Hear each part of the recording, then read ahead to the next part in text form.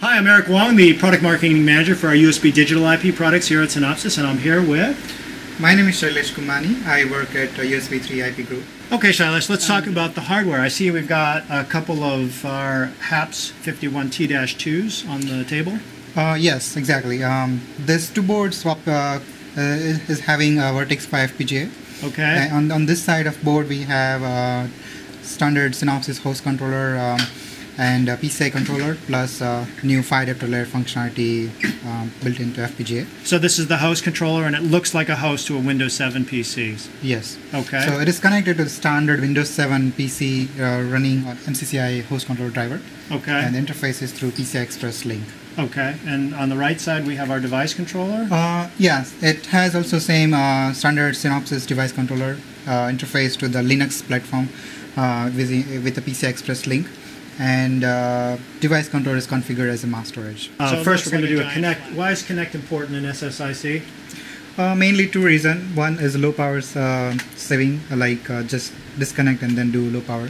Okay. Uh, second one is uh, change up speed. If device wants to um, change speed, then you just disconnect and reconnect at the different speed. So it's used for saving power over changing speed. Now, when I hit connect, the autoplay popped up a window. Yes and that shows that we've got a drive and now we've got um, some files here. We've got a file we can show a, a read from and then we're going to do a we're going to do a copy to here now. And you can see that it does a real quick copy transfer. And then uh, let's see now we need to show that it's actually connecting as a device. So we're going to run the device manager here. And in the device manager we have our um, PCI bus here. And we've got our um, PCI Express controller, which shows our USB 3 host controller. And we're going to open that up, and you can see here's the mass storage driver uh, running our mass storage device. So that's connected with SSIC, right? That's not yes. an actual. Okay, great. So you see now it's connected in Device Manager. Um, and then we're going to run the um, USB CV. Now, what is USB CV? Uh, this tool contains standard set of tests uh, to test the device compliance to standard specification. Uh-huh.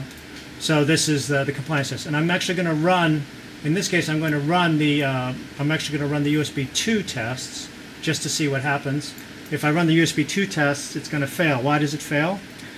This is SSIC demo and it's all about super speed operation. It doesn't have any uh, USB 2.0 side uh, logic, so that's why this test is failing. Okay, now, and then now I'm going to run the chapter 9 USB 3 tests. And as I run these tests, these are the compliance tests, it recognizes it as a mass storage BOT class driver. As I run this, I can see the tests, uh, there's some green showing up. What does the green mean? It means tests are passing and devices compliance uh, compliant to standard uh, USB 3 specification. I see. So it's passing the USB 3 compliance tests. Yes. Great. Thank you for watching.